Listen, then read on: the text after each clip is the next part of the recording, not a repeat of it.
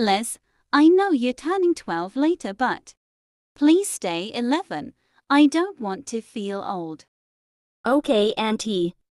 Thank you, Les. I hope turn 12 gracefully, and happy birthday again, my darling.